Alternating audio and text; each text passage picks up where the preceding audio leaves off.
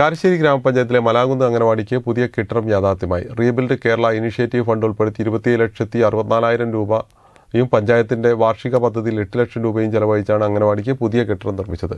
കെട്ടിടത്തിന്റെ ഉദ്ഘാടനം Thiruvambady M L A Linto Joseph നിർവഹിച്ചു.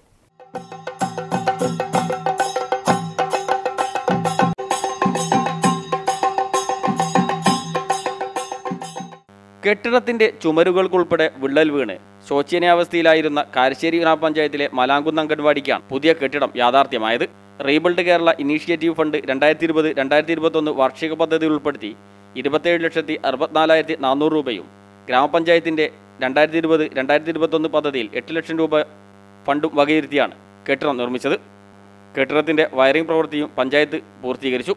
കെട്ടിടത്തിന്റെ ഉദ്ഘാടനം Thiruvambady M L A Linto Joseph നിർവഹിച്ചു.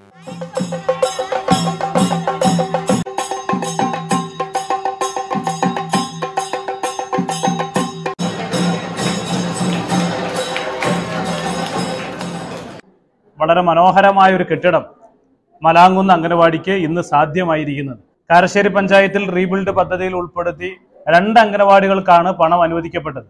അതിലൊന്ന് മലാങ്കുന്ന് അംഗനവാടിയാണ് അത് ഇന്ന് പൂർത്തീകരിച്ചിരിക്കുകയാണ്. മറ്റൊന്ന് തോട്ടക്കാടുള്ള അംഗനവാടിയാണ്. തോട്ടക്കാടിന്റെ അംഗനവാടിയുടെയും കെട്ടിട നിർമ്മാണം പൂർത്തീകരിച്ചു എന്നുള്ളതാണ് ഞാൻ മനസ്സിലാക്കുന്നത്.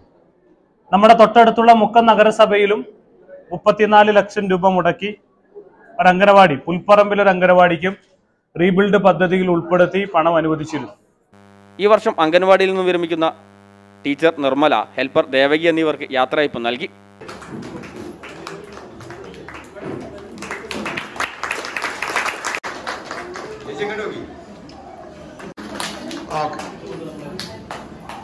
ചടങ്ങിൽ കാരശ്ശേരി ഗ്രാമപഞ്ചായത്ത് പ്രസിഡന്റ് സുനിതാരാജൻ അധ്യക്ഷയായി. ഗ്രാമപഞ്ചായത്ത് വൈസ് പ്രസിഡന്റ് ജംഷിദ് ഒളകര മുഖ്യാതിഥിയായി. സ്ഥിരം സമിതി അധ്യക്ഷന്മാരായ സത്യൻ മുണ്ടയിൽ ശാന്താദേവി മുത്തേടത്ത് ജില്ലാ പഞ്ചായത്ത് വികസന standing committee chairperson V P Jameela ward member K P Shaji panchayat മെമ്പർമാർ ജില്ലാ വനിതാ ശിശു വികസന ഉദ്യോഗസ്ഥർ ഐ സി ഡി എസ് സൂപ്പർവൈസർമാർ തുടങ്ങിയവർ ചടങ്ങിൽ പങ്കെടുത്തു. News bureau Mukkam.